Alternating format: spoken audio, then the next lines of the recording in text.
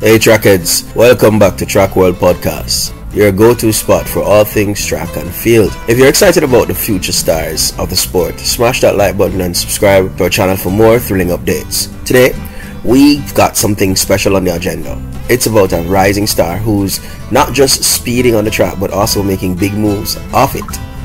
Yes, I'm talking about none other than Jamaica's own Brianna Lyston.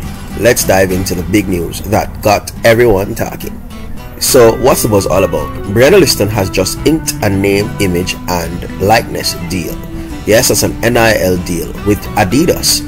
This is huge, folks. Congratulations are in full effect for Brianna, of course, for her and her team for making this decision marking a significant milestone in what we will hope will become a legendary career in track and field. For those who might not be familiar with Lyston, is a phenomenon. From her early days dominating the junior ranks in Jamaica, she's shown that she's a force to be reckoned with. Now as she transitioned out of her junior status, turning 20 this year, the expectations are sky high. But why is this deal such a big deal? It's not just about the financials, it's a vote of confidence from one of the biggest names in sportswear. Adidas choosing Lyston signals they see her not just as a promising athlete but a future icon in the track and field. Let's put things into perspective. Remember Sha'Carri Richardson's explosive rise? Her journey from a promising junior to a world beater is something we've all watched in awe. Lyston is on a similar trajectory.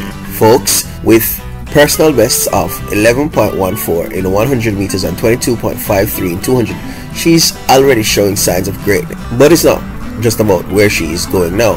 It's about where she's heading. And let me tell you, the future looks bright. This deal with Adidas is not just recognizing what she's achieved, it's a bet on what's to come. We're talking about an athlete who, with the right development and the support, could redefine the limits in women's sprinting. So, what can we expect from Brianna Lyston? If the buzz is anything to go by, we're on the cusp of witnessing something extraordinary. This season could be very well the beginning of a new era in track and field, with Lyston leading the charge. Trackheads, I want to hear from you.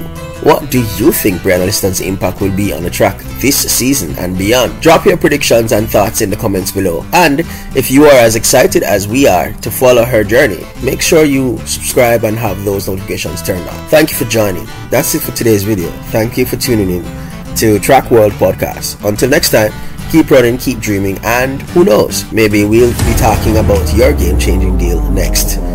Have a good one. Blessings.